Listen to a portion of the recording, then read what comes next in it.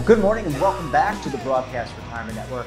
I'm Jeff Snyder, and this is BRN AM for Friday, June 26th, 2020. And our top stories today workforce confidence is on the rise, and a giant financial firm shakes up recruiting. Joining me now to discuss this and a lot more, Devin Banerjee, Senior Financial Services Editor for LinkedIn, and he's also the editor of the This Week in Finance newsletter which you can find on the LinkedIn platform. Just click Devin's name and you can sign up. Devin, thanks for joining us in the program this morning. Absolutely, Jeff. Always good to be with you. Yeah, it's great to check in with you and the team at LinkedIn every Friday to find out what's happening in social media and what's happening on the platform. So, Devin, lots of news this week, I would imagine, lots of interesting economic news. What's top of mind for you and the team? Yeah, absolutely, Jeff. As with many of the recent weeks, you know, economic updates are really top of mind for folks. And you know, I, I, like to start this segment in recent weeks with just some of the key economic data and indicators, because as I talk to people, even in my in my personal life, there's so much data coming out, and it's hard to kind of parse and know what to pay attention to. So I want to start with data we just got this morning. We're recording this on Thursday this week. Um, initial jobless claims for last week came in at about 1.5 million. Uh, that was higher than expected. Of course, it's down from previous weeks and months, but generally, I would say the reaction on the platform and among uh, uh you know labor market watchers has been that this is kind of a concerning figure for three months into this crisis for one and a half million new jobless claims uh, to be filed in one week. Stepping back this week, I also want to point to uh, the IMF's latest forecasts. Um, quite a significant downgrade in the IMF's outlook for the global economy. The IMF is now projecting a deeper recession and a slower recovery than it itself had projected just two months ago. So for 2020, globally, the IMF is looking at a uh, 4.9% contraction globally and that's versus a 3% contraction that it had forecast uh, for the year just in April. So, as I said, a significant, significant downgrading of its outlook there. That 4.9%, uh, you know, contraction globally, to put in dollar figures, is about a 12.5 trillion dollar uh, loss economically globally. So, what's driving this increased pessimism from the IMF? Uh, its chief economist Gita Gopinath was out there quite a bit this week. Uh, we checked in with her a couple days ago as well. You know, she's looking at a larger than anticipated supply shock during these lockdowns uh, that we've had the past few months globally. A continued and prolonged hit to demand as well from social distancing, uh, other social protective measures. And what's interesting is, you know, she said for those nations struggling to control the outbreak, uh, lockdowns will only persist longer than anticipated. So, you know, and by the way, the U.S. really fits into this category of nations struggling to control the spread. And of course, the U.S. is the world's largest economy. Just this morning, as we're talking right now, actually, you know, Greg Abbott, the governor of Texas, has uh, has, has extended um, or has has halted the economic reopening of mm. that state um, cities like Houston are now projected to, you know, saturate their medical infrastructure by the 4th of July.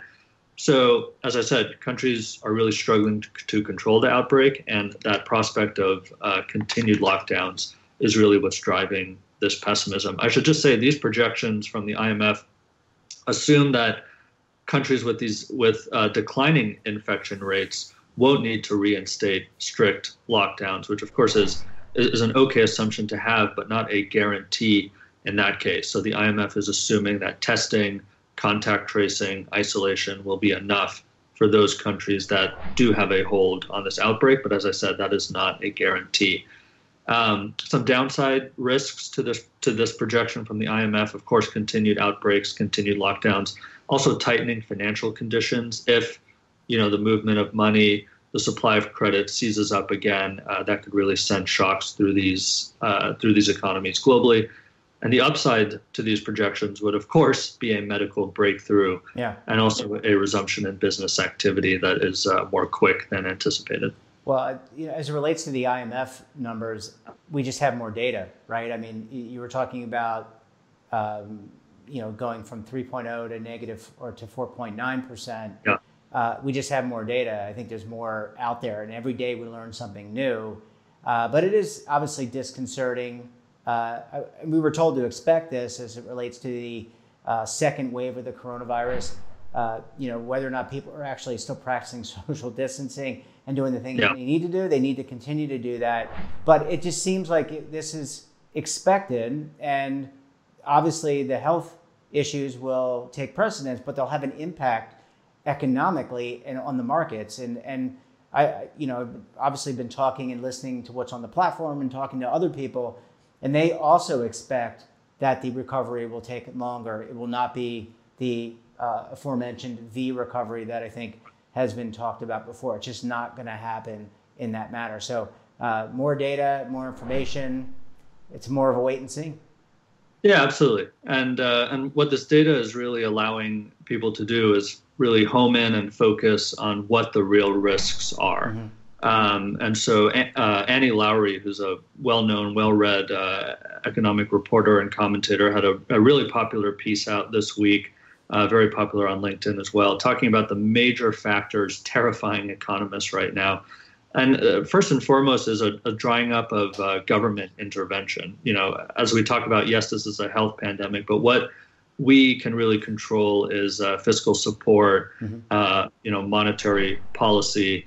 Um, and so the concern that that would dry up because of politics or because of or, or because of other policy um, moves is is of top concern. Uh, number two, she pointed to is of course consumer spending shrinking. So again, that demand shock uh, lasting longer than anticipated.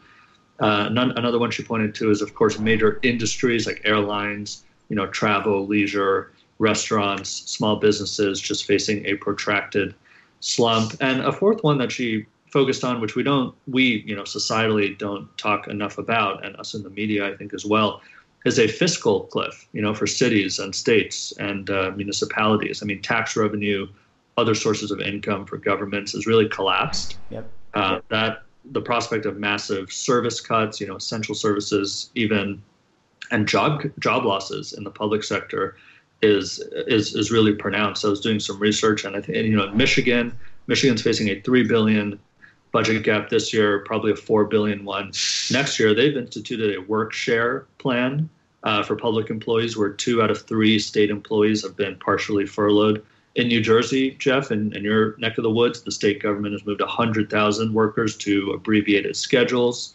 You know, public schools are sh- shedding positions across the country in greater volume than during the Great uh, Recession.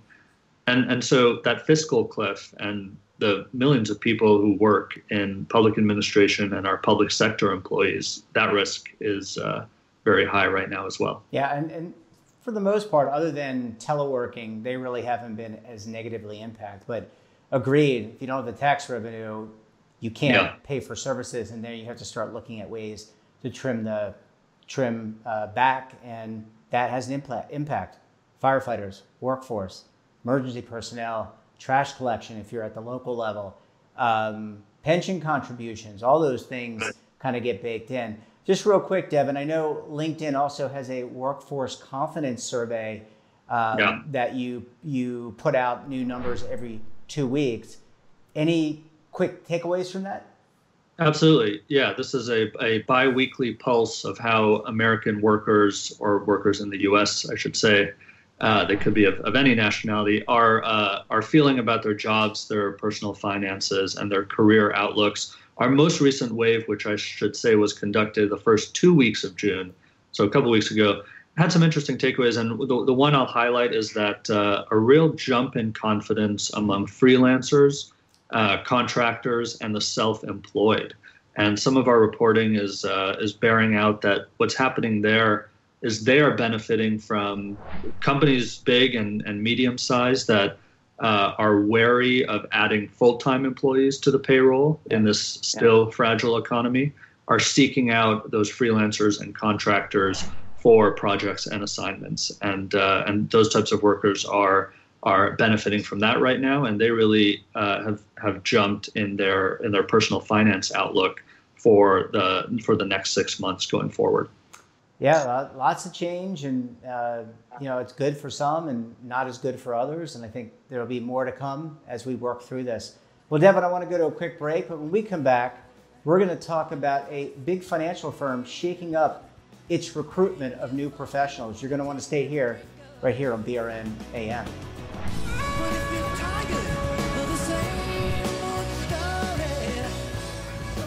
Imagine a new television network that will make you richer, healthier, and in control of your financial future.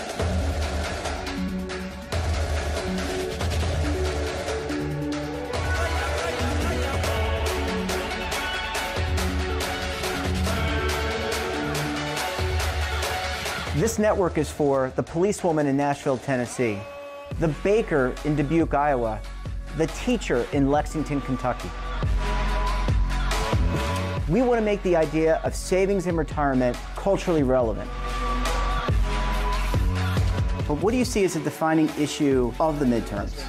Especially for the smaller businesses. I mean, they are the lifeblood of the American economy.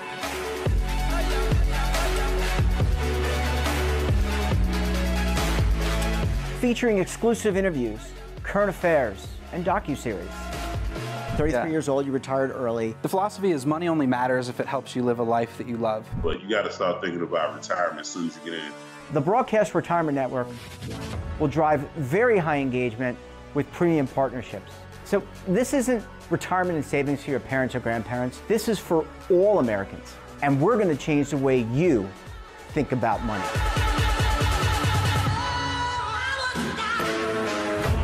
Welcome to the next frontier of retirement and savings. This is BRN, the Broadcast Retirement Network. The windows on our homes, they protect us and the ones we love, but they do much more. At Renewal by Andersen, making your home more comfortable is at the center of every window we make.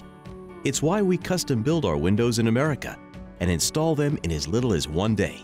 It's why we build our frames with exclusive Fibrex composite material that's two times stronger than vinyl.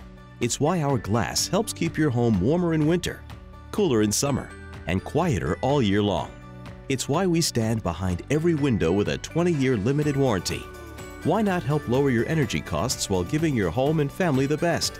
Call 1-800-835-6525 to schedule a free in-home consultation. Buy one, get one at 40% off with this special offer. Plus, get special financing with no money down, no monthly payments, and no interest for one full year. Renewal by Andersen, the better way to a better window.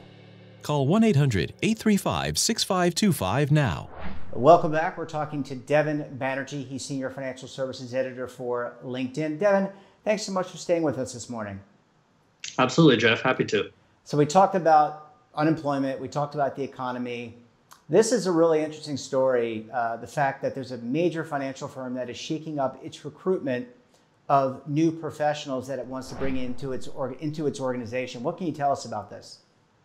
Yeah, Jeff, this is a story about Blackstone, which is one of the, you know, I should say, one of the most sought after, coveted places to work for finance and investment professionals in the industry. It's the largest alternative asset manager globally, uh, just north of half a trillion in assets. It's produced by my count, I think, five billionaires among its founders and senior employees over its history.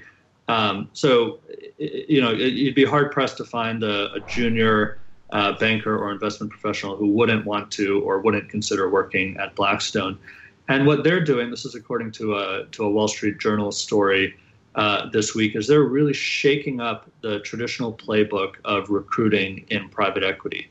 That traditional playbook is to look to investment banks for uh, for, for, for young uh, professionals there who have spent a year or two learning the ropes, uh, learning you know corporate finance, uh, modeling, you know the use of all the tools like spreadsheets, and then to pluck them from those banks for entry level positions at private equity firms. Hmm.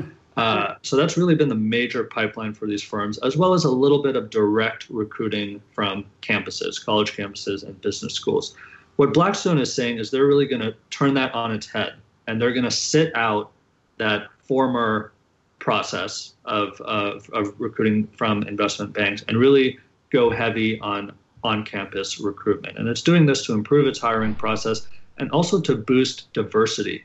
Now, Blackstone says this is a process that it's uh, been trying to put in place now since last year, um, not directly related to, of course, you know, the, the heightened focus on diversity uh, of the past of the past few weeks and months. But of course, you know, it, it is one of Blackstone's intentions to boost diversity uh, in its entry level funnel and and eventually into its into its upper ranks.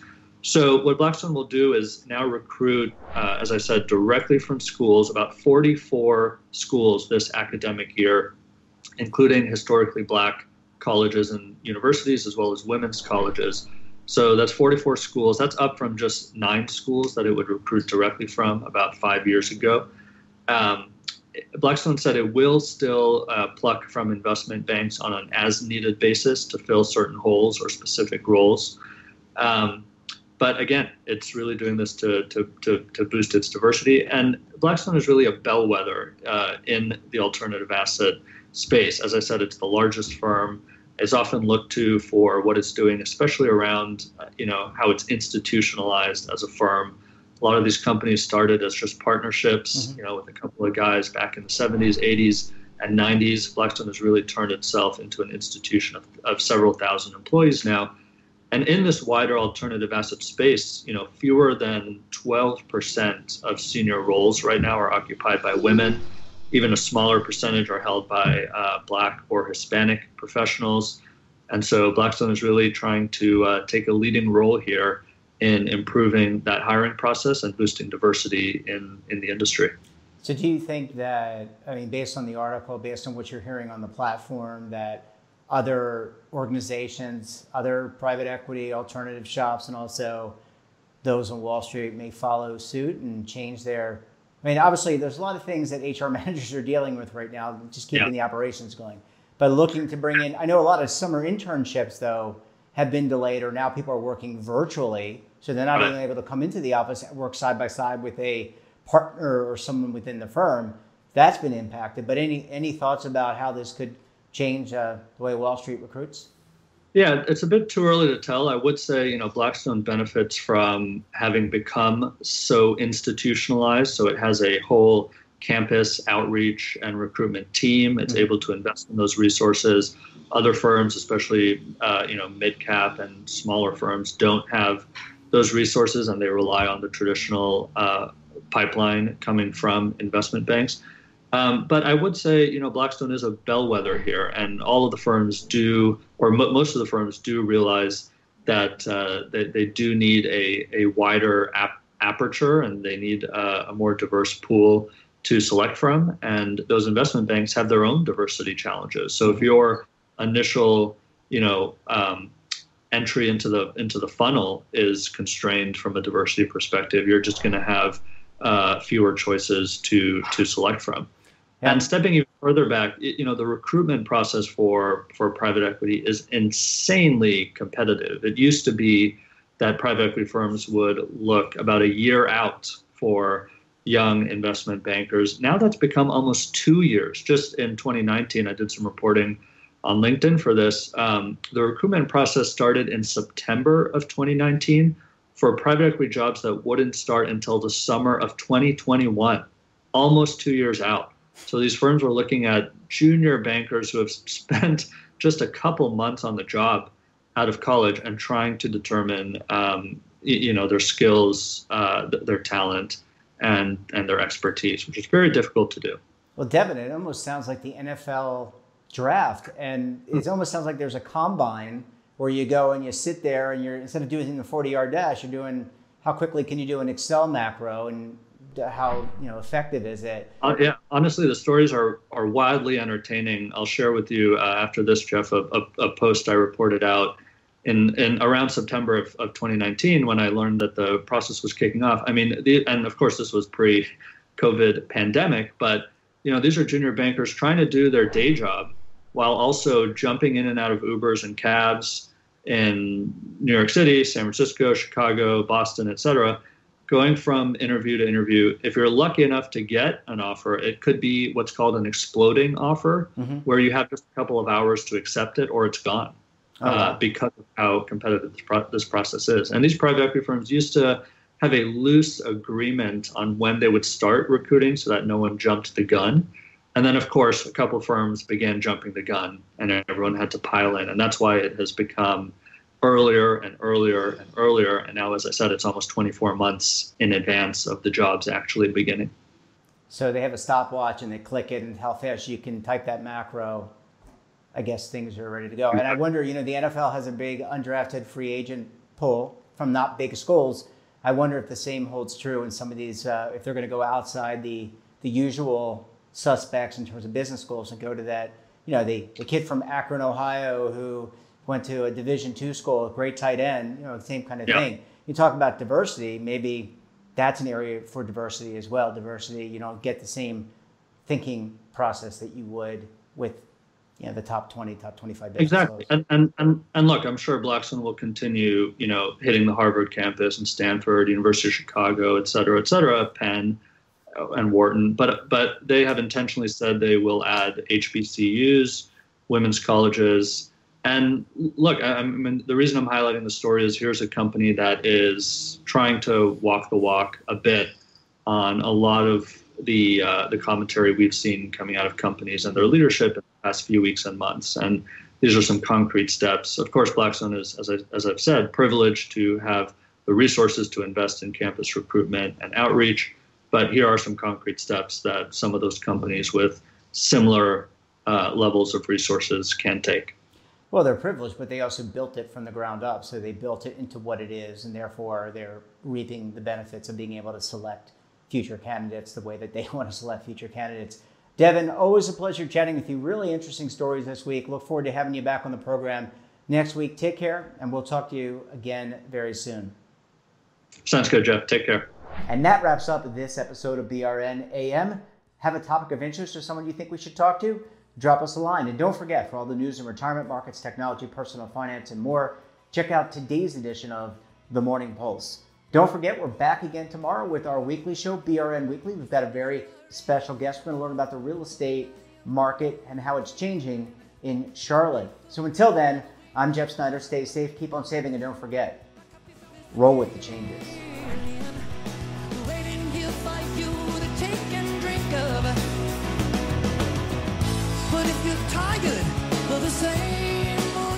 Attention. The Centers for Medicare and Medicaid Services has officially authorized new benefits that Medicare Advantage plans may include. To get the benefits you deserve, you can call the Medicare Coverage Helpline. Hi, I'm Joe Namath. If you're on Medicare, this is important information. I called the Medicare Coverage Helpline and they instantly looked up my coverage. In this one simple call, they offered to enroll me in a plan that includes rides to medical appointments, private home aides, doctors and nurses' visits by telephone, and even home delivered meals. The plan also includes dental, vision, hearing, and prescription drug coverage, all at no additional cost. Don't delay. Call to see if the new benefits are available in your area. Call the number on your screen now. It's free. Call 1 800 757 1451. That's 1 800 757 1451.